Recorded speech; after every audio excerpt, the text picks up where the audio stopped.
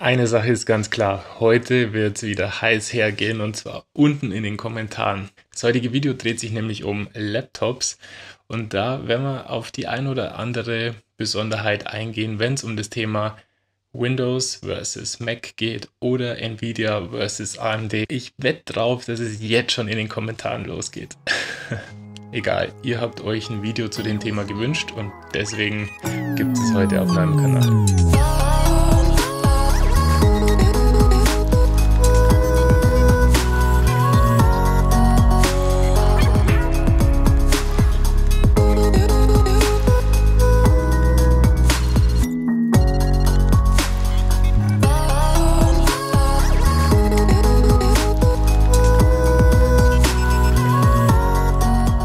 Servus, Patrick hier auf dem Pixel und Spätzle Kanal. Hier geht es um Videografie, Fotografie, Drohnen, Rechner und so weiter. Alles, was sich um dieses ganze Thema dreht. Wenn du in Zukunft noch mehr Videos sehen willst, dann vergiss nicht jetzt zu abonnieren meinen Kanal und vielleicht auch die Glocke anzumachen. Dann bekommst du eine Benachrichtigung, wenn ich das nächste Video hochlade. Und du würdest mir einen riesen Gefallen tun, wenn du einen Daumen nach oben gibst im Video. Das hilft mir einfach weiter, meinen Kanal aufzubauen, sodass mehr Leute meine Videos sehen und so kann ich dann im Endeffekt wieder mehr Videos für euch machen. Gut, Thema heute Videoschnitt-Rechner, Videoschnitt-Laptop. Das Thema hat sich jetzt wirklich super gut gerade angeboten, weil auf der einen Seite habt ihr mich immer wieder gefragt, hey, wie schaut's denn aus? Videoschnittrechner, die Hardware, die du letztes Jahr verbaut hast, kann man die noch empfehlen oder willst du was anderes nutzen? Und ganz viele interessieren sich eben im Speziellen auch für Laptops, weil ich habe es gemerkt, die Dinger sind einfach sau praktisch. Dann kam plötzlich eine Nachricht von Nvidia, die gesagt haben, wir haben gesehen, was du auf deinem Kanal so machst, hättest du vielleicht Bock, dass wir irgendwie mal eine Kooperation machen. Und ich habe mir noch so gedacht, hm, Nvidia? Äh, Alter, nein, Nvidia, ich bin ja sowieso voll der Fan, aber dazu muss ich vielleicht noch eine kleine Geschichte erzählen. Wer meinem Kanal vielleicht ein bisschen aufmerksamer folgt, der weiß auch, dass ich vor ein paar Monaten von AMD Grafikkarten zu Nvidia gewechselt habe. Das hängt ganz einfach damit zusammen, dass schon wieder eine der AMD-Grafikkarten, die ich gehabt habe, kaputt gegangen ist und das innerhalb von neun Monaten. Die andere, die ist ganz kurz nach zwei Jahren kaputt gegangen. Auf jeden Fall habe ich mir gedacht, okay, probieren wir doch mal die andere Seite aus. Und ich persönlich war auch immer so der Meinung, hey, Nvidia kostet einen Haufen mehr, wofür auch? Wofür soll ich das bezahlen? Ich bekomme doch die AMD-Karten viel günstiger. Tatsächlich hatte ich aber mit den AMD-Karten immer wieder Probleme, was Videoschnitt angeht.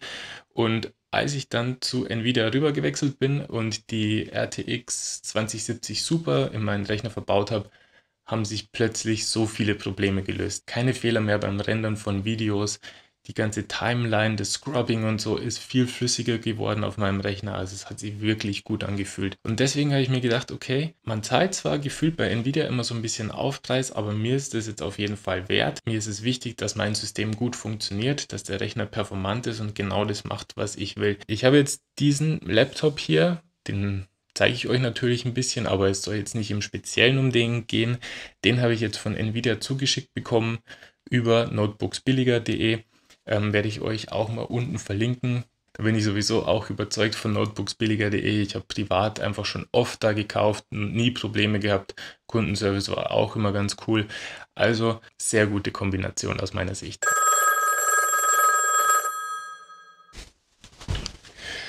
Okay, wo war ich? Kurzer Anruf dreht sich ein bisschen um Drohnengeschichten, Führerscheinrecht. Das heißt, da kommt vielleicht bald mal was für euch. Aber jetzt wieder zu dem Thema Rechner. Was hat der jetzt? Das ist ein Acer Laptop, nennt sich Concept D und das ist eben ein Laptop mit i7 der neunten Generation. Er hat ein 4K-Display. Wir haben eine Nvidia RTX 2080 da drin. Wir haben 32 GB Arbeitsspeicher und 1 TB SSD.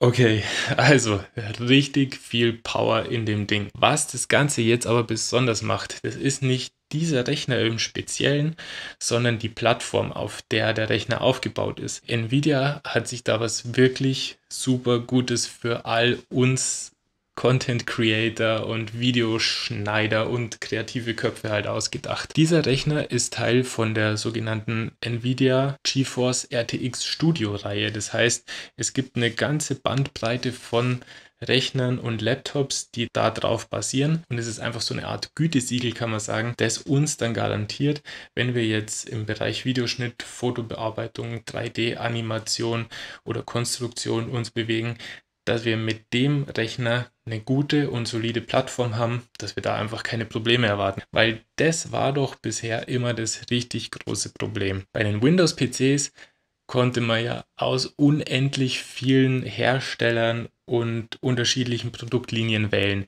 Und man wusste eigentlich nie so richtig, ist es jetzt wirklich das, was so passt? Reicht das Ganze für einen Videoschnitt? Zumindest bei den Laptops war es so, wenn man sich einen Rechner selber gebaut hat, so wie ich mein großes Monster in, der, ähm, in meinem Büro, dann konnte man sich das so ein bisschen zusammenstellen, aber es war auch da immer nicht ganz klar, passt es wirklich perfekt. Da ist jetzt Nvidia quasi reingegrätscht und hat diese Studio-Plattform aufgesetzt. Das bedeutet natürlich, dass alle diese Studio-Rechner immer mit Nvidia-Grafikkarten ausgestattet sind, aber das Entscheidende für uns ist, dass hier wirklich der Nvidia-Sticker, RTX Studio-Sticker, nur draufkommt, wenn das Produkt von Nvidia getestet wurde und eben für diese Anwendungen ähm, für gut befunden wurde. Es läuft dann tatsächlich so, dass der Hersteller, in dem Fall Acer, setzt ein Produkt auf, wo er eben denkt, okay, das passt so in die Richtung und dann geht es zu Nvidia zum ausführlichen Testen. Da werden Benchmarks absolviert und so weiter. Erst wenn Nvidia dann quasi sagt, okay, das passt, das ist für uns in Ordnung. Das könnt ihr als Creator-Rechner, also unter der Studio, RTX Studio-Linie verkaufen. Dann bekommt er den Sticker. Und damit ist uns jetzt so extrem viel Arbeit bei dem Suchen abgenommen, weil wenn ich jetzt einen Rechner suche für Videoschnitt und sehe, dass der den Sticker hat, dann weiß ich, dass das Ganze auch funktioniert. Ich möchte jetzt in dem Video wirklich nicht in die technischen Tiefen eindringen. Aber wie gesagt, das ist einfach wirklich eine sagenhafte Bereicherung für uns, die es einfach einfacher macht, wenn wir Rechner kaufen wollen, zumindest auf der Windows-Basis. Um ganz ehrlich zu sein, wenn man sich heutzutage auf YouTube umschaut, dann hat man ja das Gefühl, dass so ein MacBook Pro das ist die Wahl der Content Creator, der Videoschnittleute, der Fotobearbeiter. Ich denke aber, dass gerade jetzt mit Windows 10 haben wir auf jeden Fall ein gutes Betriebssystem und jetzt haben wir eine Hardware-Plattform, wo jemand drüber guckt, ob die passt. Wenn ihr also mal ein Video wollt, wirklich zu den technischen Tiefen, warum dieses RTX Studio jetzt so cool ist,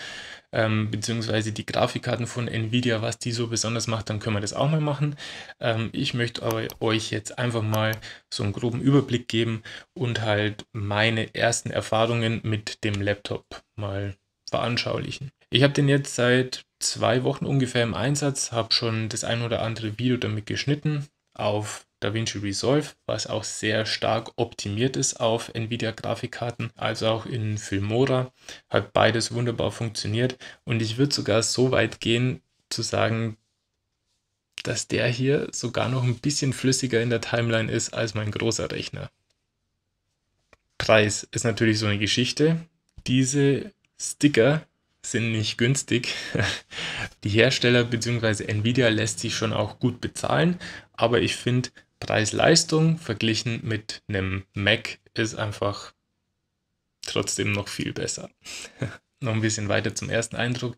In DaVinci Resolve läuft alles super schnell und easy. Es gibt natürlich auch viele Sachen, die in Resolve speziell für Nvidia Grafikkarten optimiert sind, beziehungsweise auf der anderen Seite, diese Plattform basiert ja auch darauf, dass wir den entsprechenden Treiber dafür haben. Das heißt, auf der anderen Seite kommt halt dieser Treiber ins Spiel, der sich halt separat installieren lässt. Das heißt, für die normalen Grafikkarten, die auf Gaming ausgelegt sind oder wenn ich meine Grafikkarte fürs Gaming nutzen will, dann gibt es eben den Nvidia Game Ready Driver. Ähm, das ist dann wirklich nur auf Leistung für Spieler ausgelegt. Hier haben wir aber den Studio-Treiber und der ist dann eben mehr auf die Apps und Programme in diesem kreativen Umfeld ausgelegt. Und das merkt man auch in DaVinci Resolve, das funktioniert alles so super schnell und easy.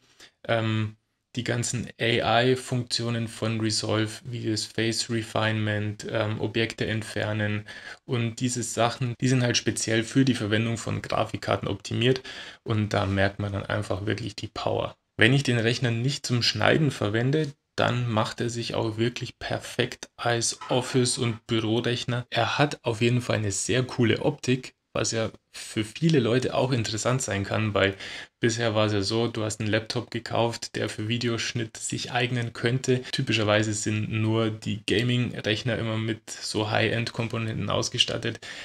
Jetzt hast du irgendein Projekt, gehst zu deinem Kunden und läufst damit zum Gaming-Rechner rein, sieht vielleicht ein bisschen komisch aus. Ähm, ich finde es auf jeden Fall super, dass man hier einfach das ganze Design ein bisschen cleaner gemacht hat. Ja, hilft auf jeden Fall sehr viel weiter, um auch ein bisschen mehr Professionalität da auszustrahlen. Es ist auch super leise. Akkulaufzeit ist wirklich gigantisch.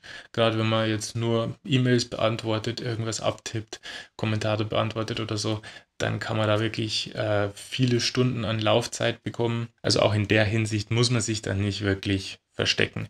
Das Ding ist wirklich gigantisch. Es kann einfach alles gut. Ich kann jetzt einfach mehr oder weniger von überall arbeiten. Und das ist auch genau der Grund, wieso ich eben dieses Video hier mache. Ihr wisst ja, ich habe einen ziemlich starken, leistungsfähigen PC ähm, schon bei mir zu Hause, mit dem ich alles machen kann.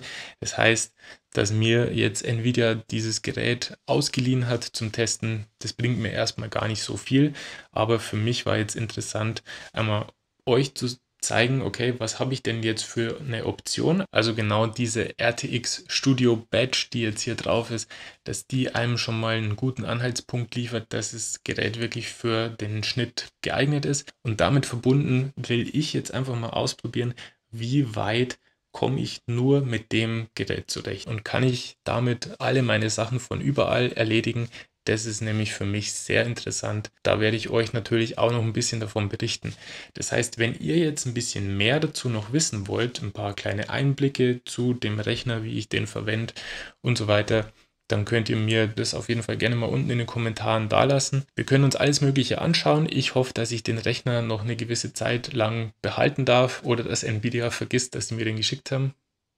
Dann würde ich auch sagen, lass uns für heute mal dabei gut sein. Wenn dir das Video also was geholfen hat, wenn du in Zukunft noch mehr solche Videos sehen willst, dann würde ich mich freuen, wenn du mir einen Daumen nach oben da lässt, meinen Kanal abonnierst, mach die Glocke an, dann bekommst du eine Benachrichtigung, wenn ich das nächste Video hochlade. Dann hoffe ich, wir sehen uns beim nächsten Mal wieder. Ich bin raus für heute. Ciao.